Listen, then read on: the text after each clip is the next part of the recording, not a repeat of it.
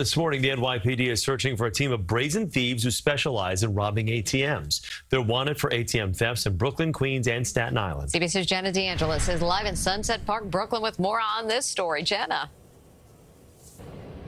Chris and Mary, the latest incident happened at Sunset Bagels here. Police say the suspects got in by breaking a lock on the front door. Now, in this case, they didn't get away with anything, but in others, they had more luck. Except for that, they were caught on camera. Watch as the hooded suspects managed to yank an ATM out of a business on Knickerbocker Avenue in Bushwick, Brooklyn. They place it in the back of a white getaway van, double parked with its hazards lights on. They drive off. Police say this happened around 4 in the morning on September 19th. 19th. While the store was open, the employee was in the back of the business at the time. Now, this is one of nine incidents police believe the suspects are connected to in Brooklyn, Queens, and Staten Island.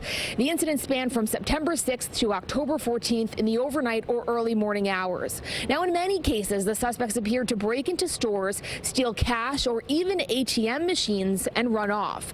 In some instances, they left empty handed. Others, it's not clear how much money they allegedly stole. But to give you an idea, police say one missing ATM was stocked with more than $6,000. Now, police are looking for three men last seen wearing hooded sweatshirts, masks, and hats. If you recognize them, maybe those getaway cars, or have any information, you're urged to contact police.